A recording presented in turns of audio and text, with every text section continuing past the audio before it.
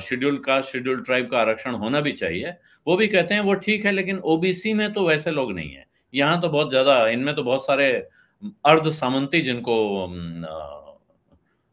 वामपंथी विचारधारा में कहा जाता है वो लोग हैं। उनको क्या ज़रूरत है?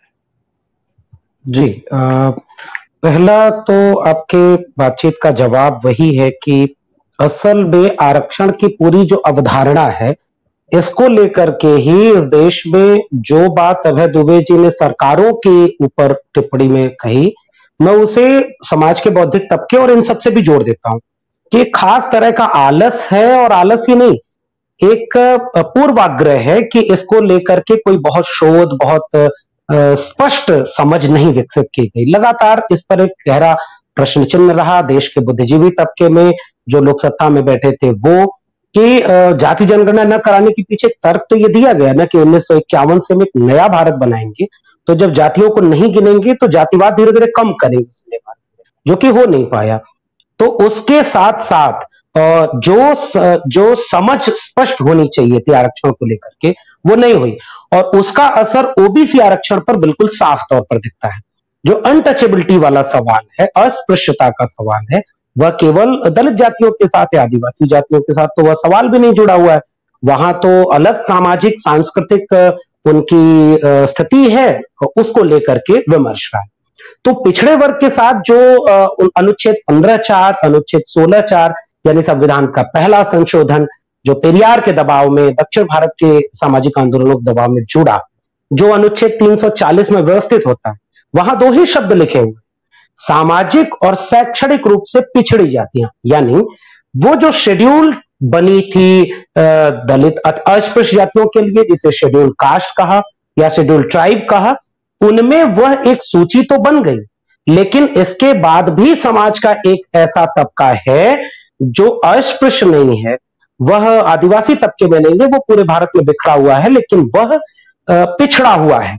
तो उसको कैसे मानेंगे? मैं दो चीज़ें इसमें तथ्यात्मक रूप से जोड़ दूँ तो यह बात स्पष्ट हो जाएगी 340 के मुताबिक पिछड़ा वर्ग आयोग गठित करने का प्रावधान संसद में किया गया। डॉक्टर अंबेडकर के सामने भी यह सवाल था, जब लगातार बैकवर्ड क्लासेस लीग ये मांग कर रहा था गांधी के सामने भी उन्होंने अपना एक रिप्रेजेंटेशन उन्नीस सौ अड़तीस, उन्नीस सौ चालीस के दौर में लखनऊ में पेश किया था। तो गांधी जी ने भी एक आश्वासन दिया था कि यह एक ज़रूरी सवाल है और हम देश की आज़ादी के साथ इसको सुलझाएँगे। संविधान सभा के बहसों में भी जब यह बात आई तो डॉक्टर अंबेडकर ने कहा कि इनकी जातियाँ इनकी संख्या ये सब आंकड़े नहीं है। इसलिए हम एक प्रावधान कर रहे हैं कि एक आयोग बनेगा जो उनकी तफसील से जाँच करेगा। तो पहला आयोग बना आ, काका कालेलकर कमीशन। में दो तीन तथ्य इसमें जोड़ देता हूँ। काका कालेलकर कमीशन ने जो आ, जो रिकमेंडेशन दी ना उसके अध्यक्ष ने जो अपनी राय ज़ाहिर की, वो अपनी रिकमेंडेशन के खिलाफ थी। जिसके चलते उन्होंने कहा कि ये तेईस सौ निन्यानवे जातियाँ हैं जो सामाजिक और शैक्षणिक रूप से पिछड़ी है। लेकिन सरकार ने उस पर सात अप्रैल उन्नीस सौ उनसठ को प्रतिनिधियों के सम्मेलन में और बाद में संसद में यह कहा कि इनकी कोई सूची ही नहीं है। चौदह अगस्त उन्नीस सौ इकसठ को सरकार ने यह कहा कि हमारे पास तो आंकड़े ही नहीं है। और यह आंकड़े जाति के आधार पर नहीं, आर्थिक आधार पर होने चाहिए थे। तो पहला कमीशन इसीलिए फेल हुआ। और मंडल कमीशन आज बीपी मंडल की जयंती भी है, मंडल कमीशन की पूरी अनुशंसाओं में देखेंगे कि जो इंदिरा साहनी मामले में जब इस पूरे अनुशंसाओं को न्यायालय के सामने प्रश्नांकित किया गया तो उसमें जब मंडल कमीशन की जो सिफारिशें थी, उसके पहले जो क्वेश्चन आयर फ्रेम हुआ था, कि आप कैसे पहचानेंगे पिछड़ेपन को वह इतना तार्किक था कि उसमें साफ़ तौर पर कहा गया कि जाति के आधार पर ही पिछड़ेपन को माना जाएगा। इंदिरा साहनी मामला इसके लिए साफ़ एक नजीर बनता है इसीलिए तो आरक्षण दिया गया। तो ये क्रीमी लेयर उसी मामले के बाद आया था कि उन्होंने आरक्षण तो लागू कर दिया कि जाति के आधार पर सैंतीस जातियों को पिछड़े वर्ग में शामिल किया जाए और उसके बाद क्रीमी लेयर आया कि यह जो सामाजिक स्थिति है, वह अस्पृश्य होने की नहीं है पिछड़े वर्ग के साथ।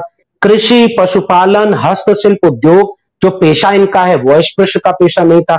इसलिए वो वंचना नहीं झेले हैं जो एक दलित व्यक्ति झेला हुआ है। तो इसलिए उनको, उनके आबादी के आधे अनुपात में दिया गया। यह आखिरी बात यही है कि यह तर्क ही कन्विंस नहीं हो पाया इसलिए लगातार ओबीसी आरक्षण पर हमला आर्थिक आर्थिक चश्मे से ही किया जाता है। तो क्रीमी लेयर का मसला वही है। और ईडब्ल्यू e आरक्षण आने के बाद आप आप इसको, दोनों को एक साथ देखिए। आठ लाख की सीमा इस समय ओबीसी की है और आठ लाख की सीमा ईडब्ल्यू की है।